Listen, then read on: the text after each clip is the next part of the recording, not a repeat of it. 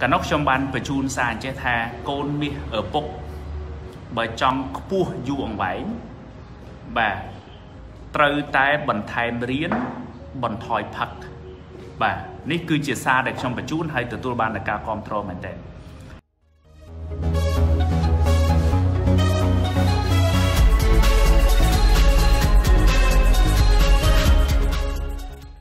អឺมันមានពេលវេលាច្រើនទេគឺសុំទី1 អឺសុំជូនបុណ្យកុសលទៅបងប្អូនយើងទាំងអស់គ្នាដែលតែងតែ like ហើយឲ្យបេះដូង comment ហើយបងប្អូនប្រជាពលរដ្ឋយើងទាំងអស់ដែលខ្ញុំបានសាងនៅសេចក្តីល្អធ្វើបុណ្យធ្វើទានហ្នឹងម៉ែប្រមូលបុណ្យកុសលទាំងក៏ជឿជាក់ថាបងប្អូនទាំងអស់គ្នានឹង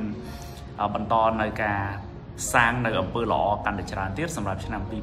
នេះបាទហ្នឹងទី1ជូនពរបងប្អូនទាំងអស់គ្នាទី2 អឺសូមរំលឹកបងប្អូនទាំងអស់គ្នាថា ឆ្នាំ2019នេះ ទាំងបងប្អូនហើយនឹងខ្ញុំ គឺយើងបានប្រឹងប្រែងអស់ពីលទ្ធភាព បាទមកដល់ថ្ងៃហ្នឹងយើងបានទទួលលទ្ធផលជីវិតរបស់យើងប៉ុណ្ណឹងលទ្ធផលការងារប៉ុណ្ណឹងសមត្ថភាពចេះចំណេះដឹង យើងចេះដឹងប៉ុណ្ណឹងប្រាក់ខែយើងបានប៉ុណ្ណឹងចំណូលយើងបានប៉ុណ្ណឹងក្នុងគ្រួសារយើងមានសុភមង្គលប៉ុណ្ណឹង អាហ្នឹងគឺយើងបានប្រឹងអស់លទ្ធភាពហើយ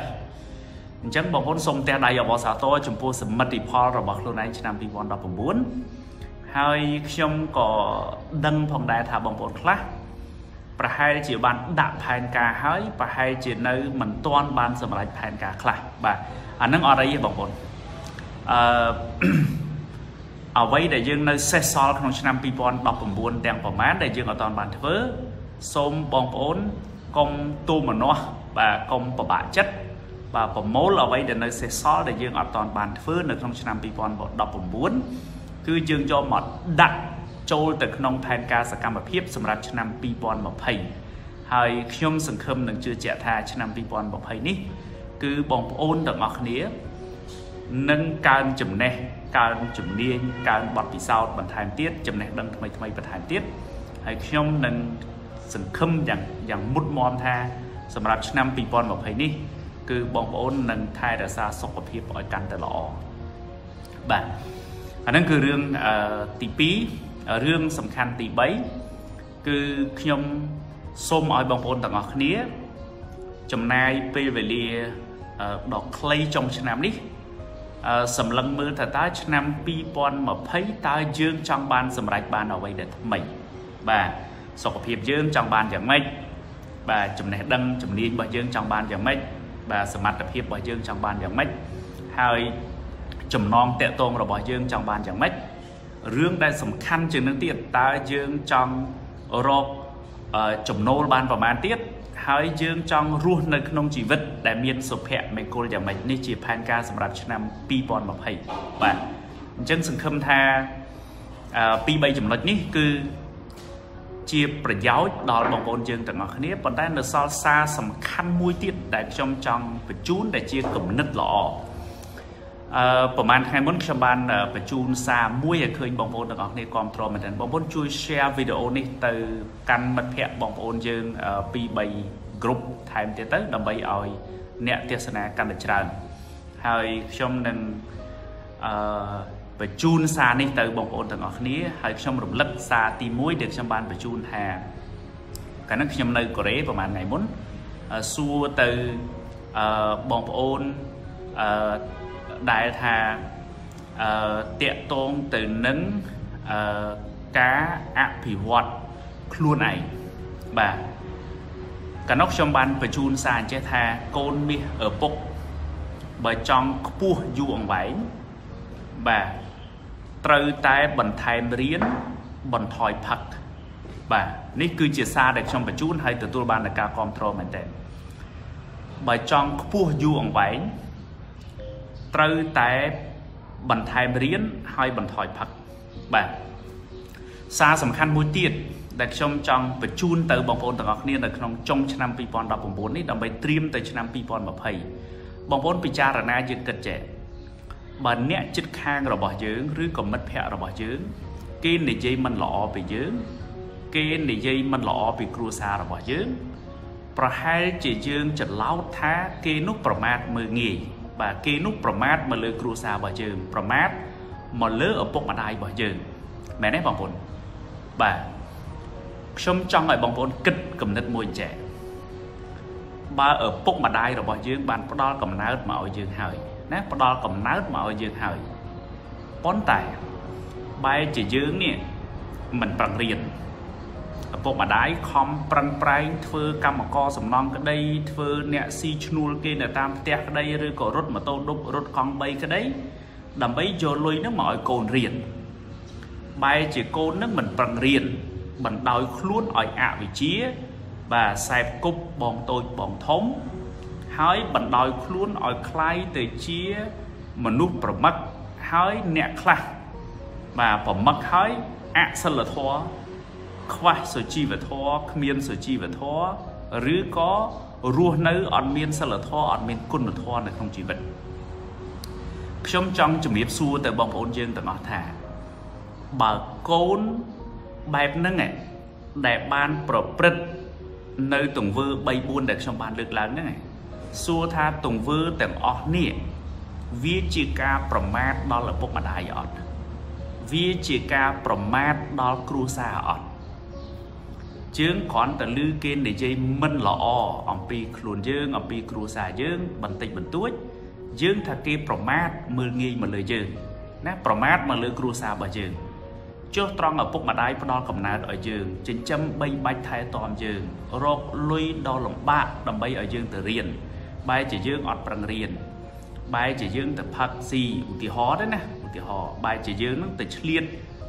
អឺសែបគប់បងតូចបងធំនៅសាច់រឿងរ៉ាវដែលមិនល្អបាទអញ្ចឹងសរុបឲ្យខ្លីយើងបានបណ្ដោយខ្លួនយើងឲ្យអវិជ្ជាបាទបងប្អូនជួយ share វីដេអូនឹងពី3ក្រុមទៀតខ្ញុំបន្ថែមបន្តិចទៀតបាទមុននឹងសម្រាប់បាយព្រោះខ្ញុំគិតថា បិទឆ្នាំ2019ទៅបិទឲ្យស្អាតអ្វីដែលមិនល្អទៅទម្លាក់ដើម្បីបើកទំព័រជីវិតថ្មីសម្រាប់ឆ្នាំ2020អញ្ចឹងអឺយើងបណ្ដោយខ្លួនយើង មានន័យថាពុកម្ដាយផ្ដល់កំណើតឲ្យយើងចិញ្ចឹមមើលថែយើងគាត់ខំប្រឹងប្រែងរកលុយដល់លំបាកអឺរកមកចិញ្ចឹមយើងឲ្យឲ្យយើងរៀនទៀតបាទគាត់បេះពីមាត់បេះពីកឲ្យយើងក្នុងស្ថានភាពអញ្ចឹងណា បែរជាពេលដែលកូនទៅសាលាហ្នឹងអត់ចូលសាលាអត់ប្រឹងរៀនសែបគប់បងតូចបងធំសរុបឲ្យខ្លីលទ្ធផលជីវិតចុងក្រោយខ្លួនអវិជ្ជាណារៀនអត់ចេះបាទទី2បដោយកាយហ្នឹងឲ្យប្រមឹកបាទចរិតហ្នឹងមិនសូវល្អទៀតបងប្អូនសួរថាកូនដែលបានប្រព្រឹត្តនៅទង្វើអញ្ចឹងហើយបានលទ្ធផលជីវិតអញ្ចឹងសំណួរសួរថាតើ សកម្មភាពរបស់កូនអាកប្បកិរិយារបស់កូនលទ្ធផលជីវិតរបស់កូនអញ្ចឹងវាជាការប្រមាថដល់កិត្តិយសឪពុកម្ដាយអត់ជាការប្រមាថដល់គ្រួសារអត់ហើយជាការប្រមាថដល់ខ្លួនឯងអត់ហើយយើងសួរថាចុះបើយើងស្រឡាញ់សង្គមជាតិរបស់យើងណាស្រឡាញ់ប្រទេសជាតិរបស់យើងហើយបើយើងបដោយខ្លួនយើងឲ្យអញ្ចឹងសួរតើតើយើងខ្លួនឯងហ្នឹងបានផ្ដល់កិត្តិយសឲ្យខ្លួនឯងអត់ យើងខ្លួនឯងហ្នឹងបែបហ្នឹងបានផ្ដល់កិត្តិយសឲ្យគ្រួសារអត់ហើយយើងខ្លួនឯងបែបហ្នឹងបានផ្ដល់កិត្តិយសឲ្យសង្គមជាតិរបស់យើង លើកសេចក្តីថ្លៃថ្នូរប្រជាជនខ្មែរយើងអត់នេះគឺខ្ញុំសូមឲ្យបងប្អូនធ្វើការឆ្លោះបញ្ចាំងធ្វើការពិចារណាប៉ុន្តែផ្ទុយមកវិញផ្ទុយមកវិញបើយើងជាប្រជាពលរដ្ឋខ្មែរយើងថែរក្សាសុខភាពយើងឲ្យបានល្អកុំហូបអាហារដែលមានជាតិគីមី បាទកុំធ្វើខ្លួនយើងឲ្យមានកម្លាំងខ្លាំងក្លាដោយពឹងផ្អែកទៅលើភេសជ្ជៈបើកម្លាំងបាទប្រឹងហូបបាយហូបអាហារហូបទឹកបាទសម្រាប់ឲ្យបានស្រួលហាត់ប្រាណណាឲ្យយើងមានកម្លាំងខ្លាំងក្លាដោយសុខភាពល្អបាទអាហារអាហារល្អភេសជ្ជៈល្អណាឲ្យឲ្យយើងមានកម្លាំងកាយរឹងមាំហើយ ហើយយើងមានកម្លាំងបញ្ញាហ្នឹងរឹងមាំទៀតណាយើងមានជំនាញនៅក្នុងខ្លួនយើងមានសមត្ថភាពយើងរស់នៅប្រកបដោយសុជីវធម៌យើងមានសុជីវធម៌រស់នៅល្អយើងមានអឺសិលធម៌ល្អរស់នៅមានការដឹងគុណចំពោះអ្នកដែលមានការដឹងគុណយើងនឹងคลายទៅជាពលរដ្ឋល្អ ជាកម្លាំងរបស់រដ្ឋដ៏រឹងមាំ ជាធនធានមនុស្សដ៏រឹងមាំនៅក្នុងក្រុមហ៊ុនឬក៏នៅក្នុងស្ថាប័នដែលខ្លួនធ្វើការលទ្ធផលល្អរបស់យើងគឺជាសកិត្តិយសគឺជាសក្តីថ្លៃថ្នូររបស់គ្រួសារហើយក៏ជាសក្តីថ្លៃថ្នូររបស់សង្គមដែរអញ្ចឹងខ្ញុំឃើញចំណុចទាំងអស់នេះគឺមានប្រយោជន៍ណាស់ហើយខ្ញុំចាំពាក្យម្ដាយមួយដែលគាត់និយាយថាកូនមាសម្ដាយកូនមាសម្ដាយសារនេះខ្ញុំនឹងទៅសេដាក់ថ្ងៃ2ប៉ុន្តែខ្ញុំបញ្ជូនទៅបងប្អូននេះហ្នឹងកូនមាសម្ដាយ កាយប្រមឹកចរិតថោកជាតិយើងមិនត្រូវការទេកូនម៉ែសប្បាយចិត្តនៅពេលដែលឃើញកូនម៉ែគឺជាមនុស្សល្អបងប្អូនរំភើបចិត្តដែរបើសិនជាយើងជាកូនបែបហ្នឹងហើយមេដាបៃតាគ្រប់រូបសប្បាយចិត្តអត់នៅពេលដែលមានកូនបែបហ្នឹងខ្ញុំជឿថាទុកដ៏សែនធ្ងន់របស់មេដាបៃតានៅពេលដែលផ្ដល់កំណើតឲ្យកូនហើយកូនคล้ายជាមនុស្សដែលមិនអាចធ្វើខ្លួនជាទីពឹងរបស់ខ្លួនបាន បើសំបីតែខ្លួនមិនអាចជាទីពឹងរបស់ខ្លួនបានធ្វើមិនដេចខ្លួនអាចคล้ายជាទីពឹងរបស់អ្នកដតីនឹងគ្រួសារគឺមិនអាចទៅរួចទេបងប្អូនអញ្ចឹងនេះគឺជាគំនិតមួយដែលខ្ញុំបានប្រកាន់ភ្ជាប់ហើយខ្ញុំបានរីកចម្រើននៅក្នុងជីវិតរបស់ខ្ញុំហើយខ្ញុំសង្ឃឹមថាបងប្អូនទាំងអស់គ្នានឹងคล้ายទៅជា